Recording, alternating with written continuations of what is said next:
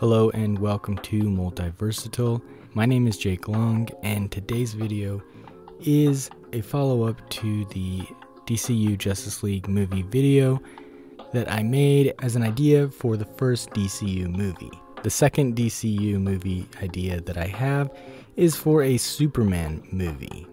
This movie would start out with Superman just flying around the city, making sure everyone is safe. He swoops down into the city, changes discreetly into Clark Kent, and meets up with Lois Lane, Jimmy Olsen, and John Henry Irons for lunch in the park. Now, for those of you who don't know, John Henry Irons is also the hero known as Steel.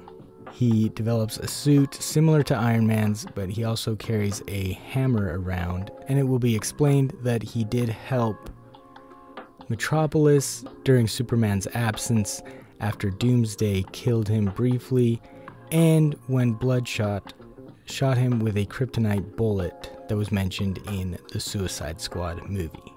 They discuss the aftermath of the events of the Justice League movie where Darkseid's troops attacked the Earth.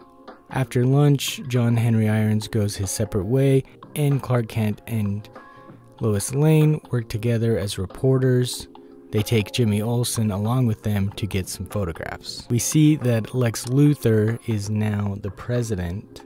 His criminal record is unofficial, and he hasn't given Superman any problems lately, but they are still very suspicious of his next activities.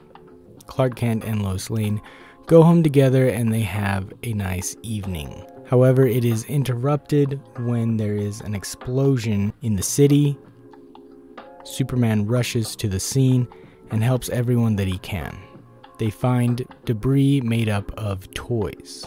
Meanwhile, a spaceship enters Earth's atmosphere and only Batman's satellites detect it. He contacts Superman and lets him know. Superman goes to the spaceship to find Lobo, who is actually looking for him.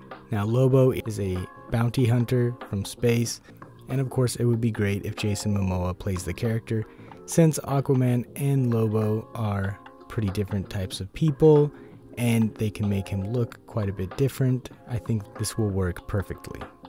As Superman and Lobo are fighting, Lois contacts Superman, informing him of a bomb threat at a local stadium.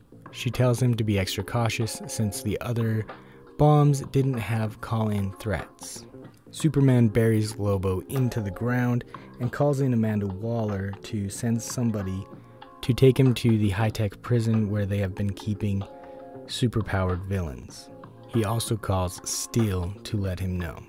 Superman gets everyone out of the stadium, but he can't find the bomb. Lobo's ship breaks him free from the rubble and he fights Steel. He manages to get away before the JSA show up. Lobo shows up at the stadium, and as they fight, several toy planes fly down towards them. Superman sees that they have kryptonite and destroys them with his heat ray vision. One more plane comes flying in and explodes in Superman's face. Lobo knocks Superman out and keeps the biggest piece of kryptonite he can find. He sees a camera and looks into it, thanking his benefactor. He hops in his ship, and Lobo takes him to the Collector, and just like the animated series, the Collector betrays Lobo and traps him too. Meanwhile, on Earth, in Smallville, the Kents console Lois. How Superman gets out of this remains to be seen. I definitely wouldn't want it to be a carbon copy of the animated series, though I can tell you that someone is keeping tabs on the Collector, and that someone is Brainiac. Lois and Jimmy find out who they think the Toyman is. His parents were taken from him in the attack on Metropolis by Zod and the other Kryptonians from the Phantom Zone. We find out he ended up taking care of his two younger siblings, making them toys, and we find out that he finally wants his revenge against Superman now that Darkseid has left the Earth alone, and they have other heroes like Shazam to protect the Earth.